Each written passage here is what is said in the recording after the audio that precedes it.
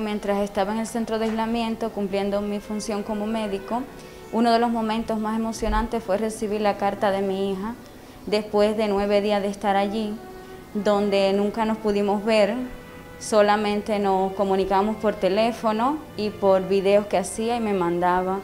Y fue emocionante leer el contenido tan bonito que llevaba aquella misiva. Esta es la primera vez que nos separamos en 10 años es mi primera misión, nunca he cumplido misión internacionalista y fue un orgullo dar el paso al frente. Cuando sea grande quiero ser como usted, fuerte, valiente e inteligente, etc. No son suficientes las palabras para describirte.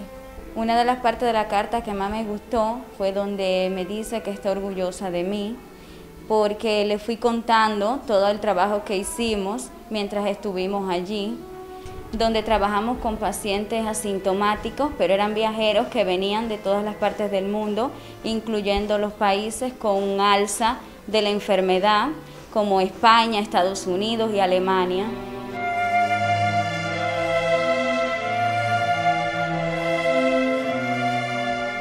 El temor es algo que nos acompañó siempre, porque el temor nos ayuda también a prevenirnos, a cuidarnos, pero no nos paralizó en ningún momento, no nos podía paralizar, sino la misión que teníamos no salía a cabo.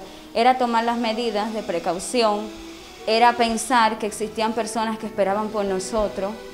Cuando llegues, no me reconocerás. Soy la señorita de la casa.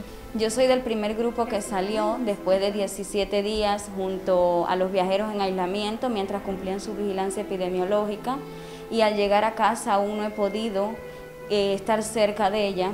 Esas son parte de las medidas de seguridad en las que nos encontramos también en vigilancia epidemiológica nosotros, sin contacto con ellos, sin abrazos, sin beso, sin nada, lo más alejado posible, de lejos todo el tiempo, todo el tiempo.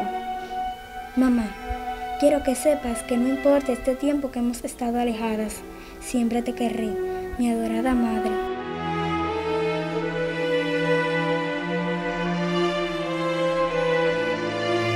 Cada día de trabajo terminaba con un abrazo, un beso, esperándome. Y llego y no puedo todavía. Ni la rosa más hermosa se compara con el amor de una madre.